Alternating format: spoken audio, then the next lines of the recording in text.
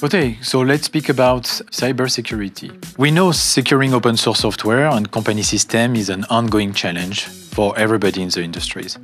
That takes considerable time and effort, as well as a wide scope of expertise, are really needed in order to address those challenges. According to the industry research, 90% of the developers rely on open source software components. Organizations love open source too, and the freedom and economies of scale that it brings is really something which is important. But security and compliance is a challenge for 40% of the organizations. And some research shows that 84% of code base contain at least one vulnerability, and it requires about 100 days on average to apply those fixes.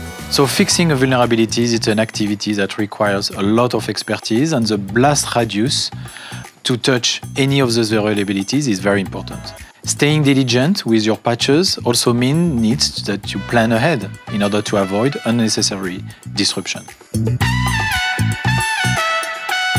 At Canonical, we have over 20 years of experience securing and supporting open source. You know us as a company behind Ubuntu.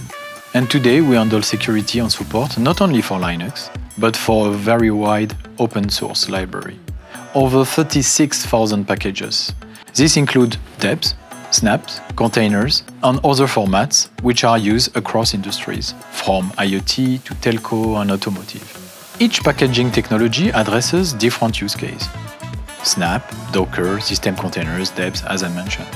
But ultimately, the expertise and the supply chain is the same, as the source code is coming from the same source. We also deliver patching, automation, configuration management, and hardening tools that make easy to stay secure while using open source.